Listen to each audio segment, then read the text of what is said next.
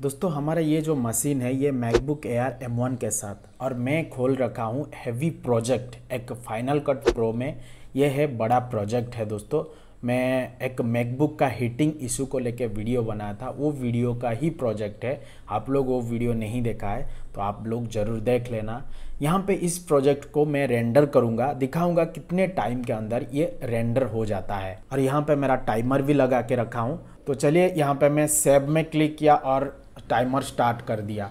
तो यहाँ पे देख सकते हो टाइमर स्टार्ट हो चुका है और यहाँ पे रेंडरिंग भी स्टार्ट हो चुका है। 95 हो चुका है, ख़त्म टोटल ख़त्म हो चुका है। यहाँ पे मैं पॉज में क्लिक कर देता हूँ।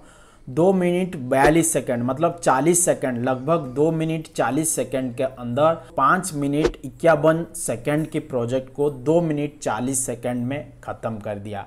कैसा लगा वीडियो? वीडियो अच्छा लगा तो लाइक करना।